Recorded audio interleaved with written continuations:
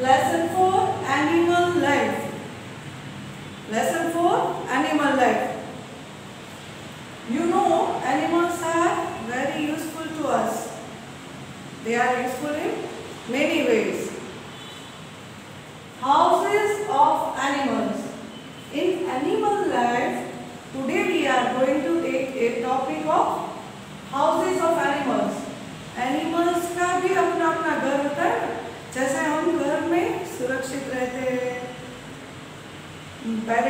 साथ फिर वो हमको बचाता है शेल्टर देता है एनिमीज से बचाता है। फ़ूड प्रोवाइड करते हैं पेरेंट्स हमको, सुरक्षा देते हैं। वैसे ही एनिमल्स का भी हाउसेस होता है, उसका भी घर होता है, जहाँ वो रहते हैं। और वो भी सुरक्षित रहते हैं। जैसे हमको सुरक्षित रहना होता है, वैसे ही एनिमल्स को भी सुरक्षा चाहिए होती है। तो studied in previous lecture domestic animals and wild animals we know that some of the animals are domestic पालतू प्राणी कहते हैं और some of there are wild animals जो जंगल में रहते हैं। पालतू प्राणी है, वो पेट एनिमल्स है। उसके एग्जांपल डॉग है काव बफेलो हॉर्सेस ये सब हम पाल सकते हैं। और वाइल्ड एनिमल्स के जो जंगल में रहते हैं फॉरेस्ट में रहते हैं लायन टाइगर बैर ये सब जो है, वो वाइल्ड एनिमल्स है। तो ये एनिमल्स का भी हाउस है, घर। और अलग अलग एनिमल्स के हाउस को अलग अलग नाम दिया गया है तो हमको ये याद रखना है तो इस लेसन में हम क्या करेंगे एनिमल्स के हाउसेस जानेंगे okay first of all deer elephant find cool shady places to rest जो हिरन और एलिफेंट हाथी होते हैं उसका घर नहीं होता वो क्या करते हैं शेडी कूल प्लेस होती है ना वहाँ अपना ये रहने का इंतज़ाम कर लेते हैं। वो घर नहीं बनाते हैं। तो एलिफेंट और डियर है जो, वो रेस्ट कहाँ पर करेंगे? कूल शेडी प्लेस कोई भी ट्रीज के नीचे वो आराम कर लेंगे। वो अपना घर बनाएँगे नहीं। फिर लायन टाइगर आपको मालूम है ना लायन टाइगर वाह जंगल में जो रहते हैं, उनको बहुत डर लगता है। तो ये lion tiger lives in dens and caves ये शेर और बाघ ये चीता, ये सब कहाँ रहेंगे? लायन टाइगर कहाँ रहेंगे? उसके घर को हम डेंस या केव्स स्पेलिंग देख लेना B E N S dens और C A B E S caves तो लायन टाइगर का जो घर है उसको हम बोलेंगे केव्स और डेंस उसके घर का नाम केव्स और डेंस देन बर्ड्स बर्ड्स तो हमको मालूम है कितने प्यारे होते हैं बर्ड्स नेचर को भी इतना अच्छा रखते हैं तो ये बर्ड्स कहाँ पर रहेंगे birds nest on trees trees पर अपना घोंसला बनाते हैं। गुजराती में उसको बोलते हैं माड़ा। आपने देखा है ना सुगरी का माड़ा? सुगरी जो बर्ड होता है, उसका कितना अच्छा होता है। फिर एक टेलर बर्ड होता है, वो भी टेलरिंग की तरह अपना नेस्ट बनाता है। फिर कौन है? बर्ड्स का नेस्ट में। अलग अलग के नेस्ट बनाते हैं। फिर rabbit makes big holes which is called burrow. Rabbit से उसके हाउस को हम क्या बोलेंगे?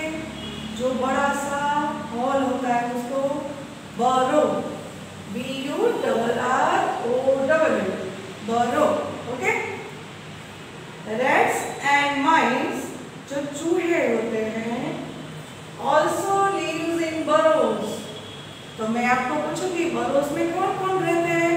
तो आपको कहना है रैबिट रैट्स एंड माइस ये तीनों लोग बरो में रहेंगे। Spelling B U double R O W S okay तो ये कहाँ पर रहेंगे रैबिट रैट्स और माइस यस बरोज इंग्लिश में इसको बरो कहते हैं वो इतना छोटा वाला एक हॉल होता है उसमें फिर काउस उनको पता है काउस हमको क्या देती है एक gives us milk yes milk हमको बहुत ताकत देता है मिल्क से हमको बैलेंस डाइट मिलती है फिर so cows are kept in sheds cows जहाँ रहते हैं उसके घर को हम क्या बोलेंगे sheds S H E D S. Cows lives in sheds. Yes. Then horses.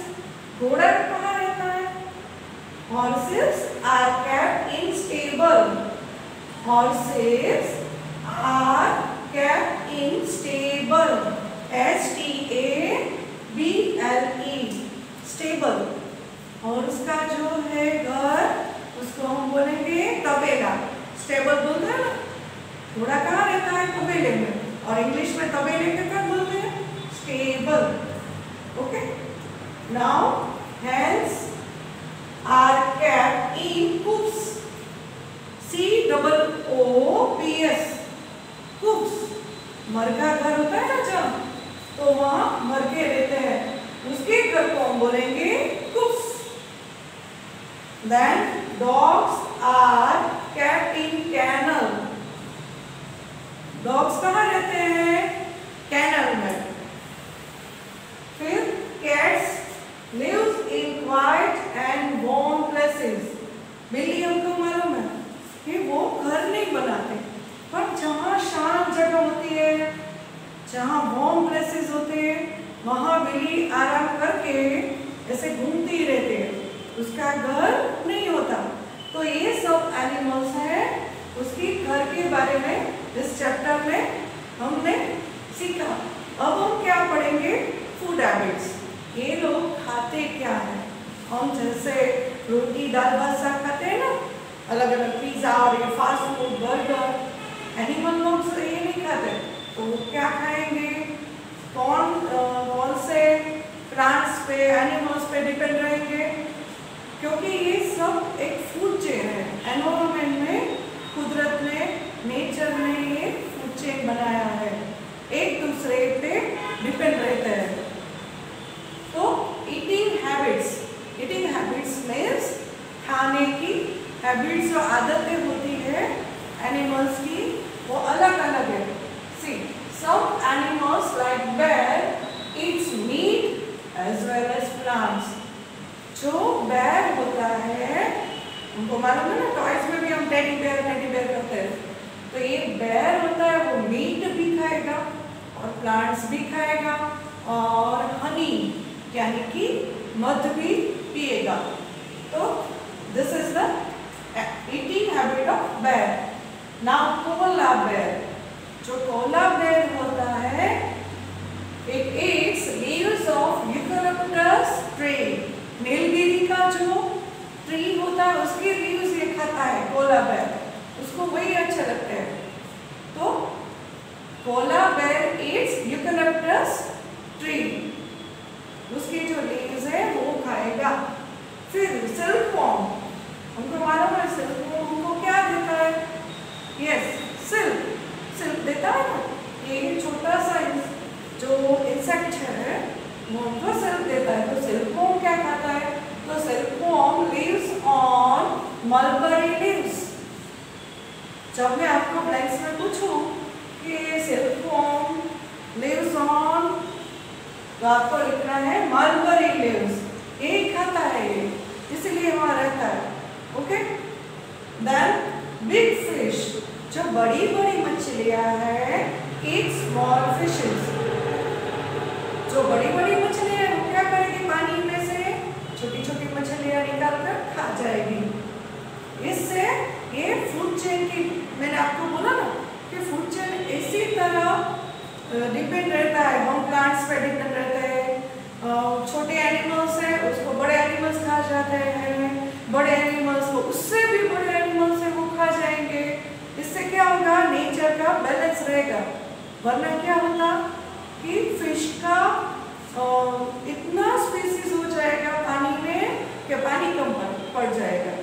तो नेचर में ऐसे कुदरत ने रखा है कि फ़ूड चेन है तो एक दूसरे को खाते रहते हैं, एक दूसरे पर डिपेंड रहेंगे और कोई भी प्रपोर्शन ज़्यादा कम नहीं होगा। ओके फिर वल्चर ये गीत होता है ना, वो it's the remains of dead bodies जो डेड बॉडीज हैं, मर जाते हैं ना, उसको हम डेड बॉडीज बोलते हैं। वो वल्चर ऐसे खा जाता है।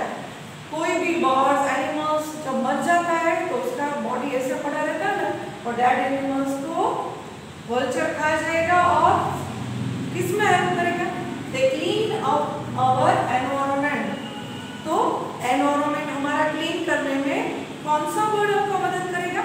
Vulture गीद okay understood then grass is eaten by deer we know that हिरन क्या खाता है डियर डियर का स्पेलिंग देखो.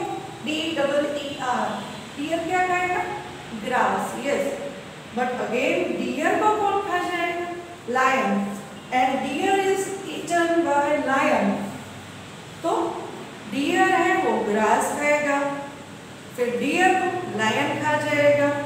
तो ऐसे एक फ़ूड चेन हमारे नेचर में बनती जाएगी जिससे कोई भी एनिमल्स या प्लांट्स वो इंक्रीज नहीं हो जाएगा नेचर में वरना क्या होगा? जो उसकी स्पीसीज ज़्यादा से ज़्यादा हो गई तो वो नष्ट कर सकते हैं पृथ्वी को। क्योंकि फ़िश ज़्यादा हो गई तो वो भी मार देगी हमको एक दिन। स्नेक्स ज़्यादा हो गए ना तो वो भी पूरे दुनिया में उसकी जो नंबर्स है वो बढ़ जाएँगे वो हमको नहीं करना है तो ये कुदरत ने फ़ूड चेन बनाई है ये एनिमल लाइफ में, में आपको अभी ये houses of animals and eating habits ये दो जो टॉपिक है वो आपको करने हैं और ये सब हाउसेस उसके नेम्स याद रखने हैं सी डब्ल्यू में भी आप लिख सकते हो ये वीडियो पोज करके ये बोर्ड में से आप लिख सकते हो। Deer elephants lives in shady cool place lion tiger lives in dens and caves birds lives makes nest on trees फिर rabbit rats and mice lives in burrow फिर cows are kept in shed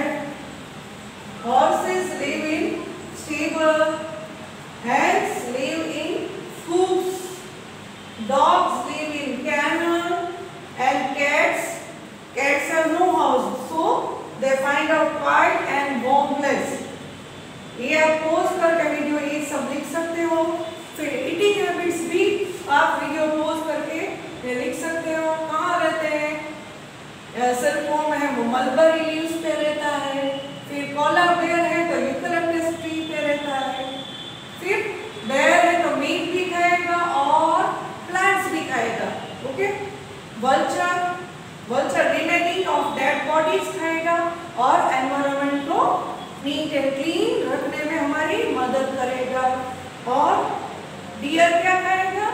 grass ए हिरन है वो घास खा जाता है पर अगेन डियर को कौन खा जाएगा लायन ओके तो आप ये डब्ल्यू में लिखना वर्कशीट भी मैं भेजूँगी